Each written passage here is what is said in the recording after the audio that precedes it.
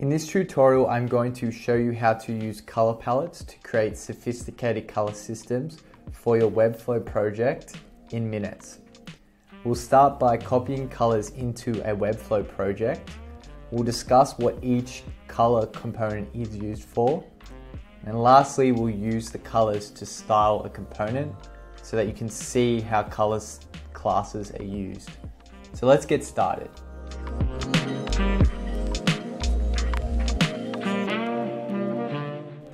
Copy a color palette, you can simply find the color you want and hit copy. Then you'll want to paste it somewhere in your Webflow project where you can access it all in the one place. We've set up the Relume Library Style Guide version 1.2 to make this process easier for you.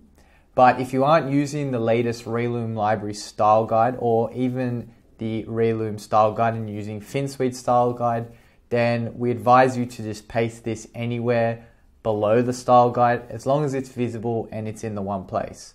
So I'll go ahead and because I copied the color sample component, I'll paste uh, it into the color sample location. So I'm just going to go ahead and paste this below. Great. Now, you might be wondering what color samples are used for, and to answer that question, they're used to create color swatches inside of a project. They are designed for easy access to colors, which makes the process of creating a color swatch easier. So if I click this div here and scroll down to the color, it's already there. It's, and I, all I need to do is click the color, um, add swatch, title it the same as what I've titled it, and press create. And so what I want to do is I want to just do that for each color um, and, and add that in.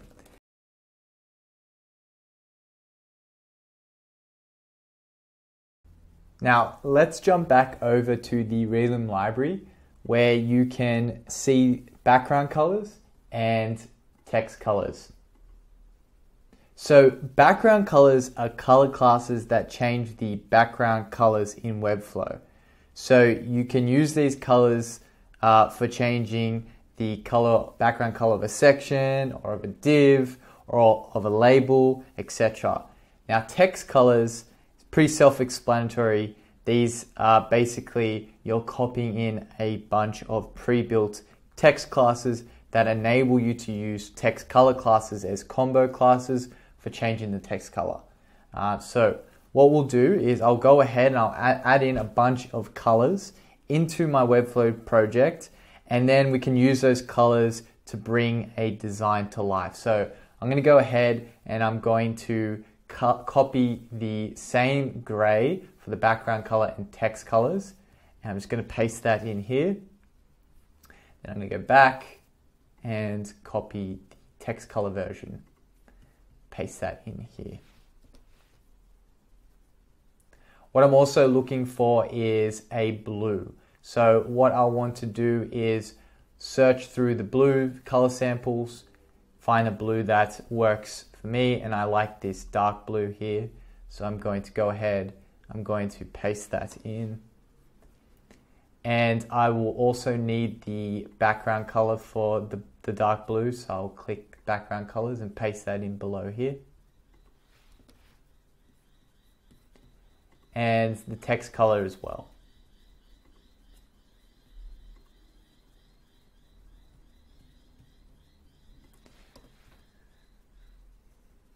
Now, I'll also want to add in a green, so I'll just go ahead and I'll add the green that I want to the Webflow project. Great, I'm now ready to use the color palettes to style a component. So what I'll do is I'll go to the home page and then I'll go to the Relume library and go to pricing sections click the pricing sections, uh, and then um, select this pricing 12 component, and I'll paste that in here. Great. So I'm going to now apply the color classes uh, to the styling of this particular component. So let's go ahead and start doing that.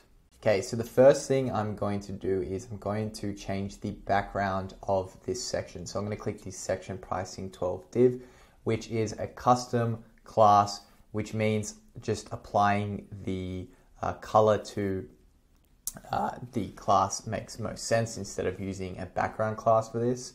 Um, so that's what I'm going to do. I'm going to change it to gray 100. And then what I'm going to do is I'm going to add a text color class to this uh, to this uh, subheading. The reason why I'm using a class here is because I like to use global classes for text. It just makes uh, creating text a lot more systematic. The next thing I'm going to do is I'm actually going to change the color of the text entirely across the entire section and website. So a quick way of doing that is to go to the body uh, and then go to color. And instead of using black, like the original black that we use, um, I'm going to actually make it gray 700. So it's a little bit of a softer, softer gray. Cool. And now, as you can see here, that's changed all the text here. Now for the subheading, I do like to go for a lighter gray just to create that hierarchy. So what I'll do is I'll go text color gray and I'll use gray 500 here. Uh, here I will add the text color blue dark, which I'll go with 600 again. Uh, and then for this one, I'll repeat the same. Uh, and then for this, I'll go with the text color uh, gray 500, which is used uh, in the sub this subheading too. So I'll add that in. Cool, awesome.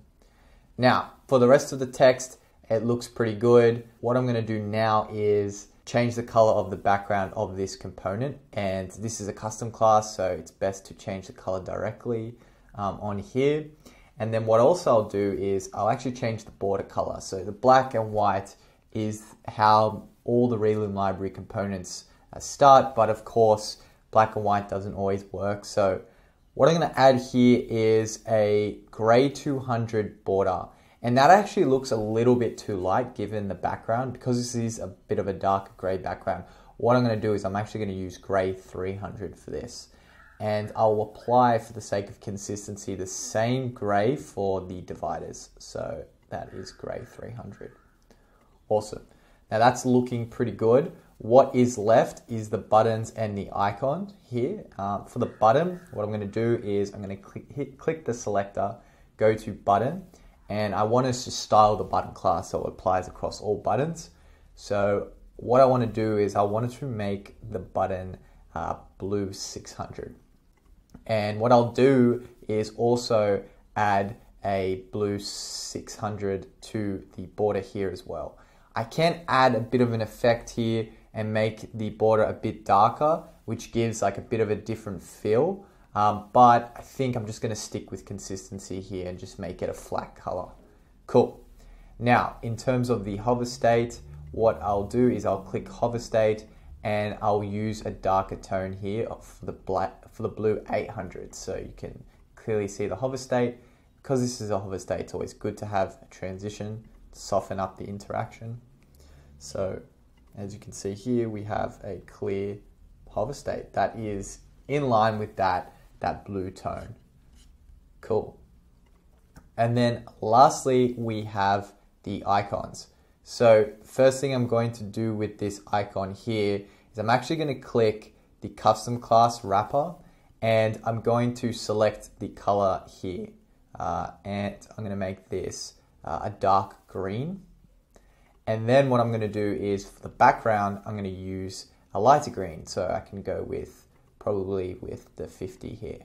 Uh, and then I might want to just go 100% radius and maybe add a little bit of a border around this. Uh, so let's let's go ahead and do that. Great, cool, and that's looking pretty good. Now, in terms of any other colors, I think I've covered it all.